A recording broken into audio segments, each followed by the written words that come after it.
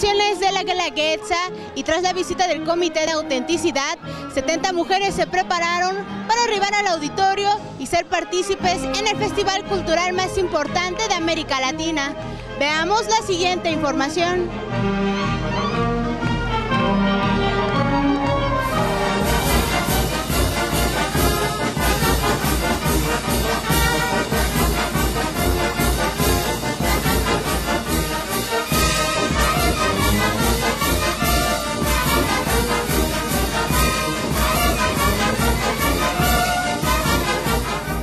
Finalidad de rescatar las tradiciones del Estado, el grupo de las chinas oaxaqueñas de Doña Casilda Flores se preparan física e intelectualmente para arribar al Auditorio Guelaguetza y ser parte del festival cultural más importante de Latinoamérica.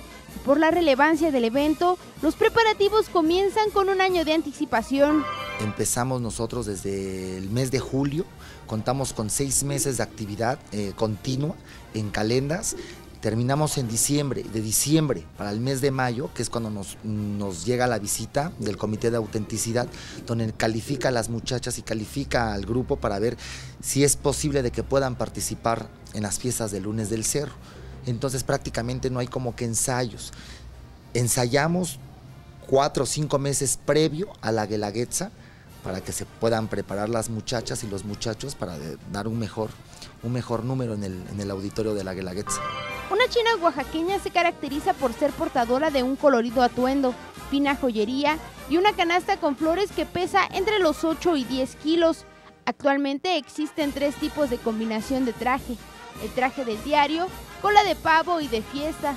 Todos siempre coronados con una majestuosa canasta. Las mujeres anteriormente portaban dos mascadas, una por dentro y una por fuera porque anteriormente pues no existía la ropa interior, lo que le llamaban el sostén. Entonces ocupaban una mascada donde la enrollaban, se la cruzaban por acá y la abrían. Y cuando la abrían metían un seno en cada abertura de la, de la mascada. Después de la mascada venía la blusa. Ahorita la señorita porta una blusa que es de, de cambalache, con randa, hazme si puedes, deshilado. Es una blusa muy tradicional que no se ocupa para las chinas. Sin embargo, se ocupa en todos los valles centrales. Actualmente en la capital persisten tres grupos de chinas, las chinas de Genoveva Medina, las chinas de Calenda y las chinas de Casilda. Estas simpáticas y alegres mujeres se distinguen por ser de clase media, mismas que se deben a la época del porfiriato, la historia cuenta que a principios del siglo XX, cuando se mandó a construir el ferrocarril en Oaxaca, ingenieros procedentes de China se instalaron alrededor del centro histórico, por lo que las mujeres se ofrecían a realizar los quehaceres domésticos de los mismos, razón por las que se les atribuyó el popular nombre. La China es mujer de una clase media que tiene posibilidades, porque tiene posibilidades para comprarse un par de aretes, también tiene las posibilidades para comprarse unas buenas zapatillas. Para poder ir al cerro, toda la gente siempre se ocupaba anteriormente el estreno o el remojo, lo que le llamaban, que era guardar para poder comprar y poder estrenarlo en las fiestas del cerro.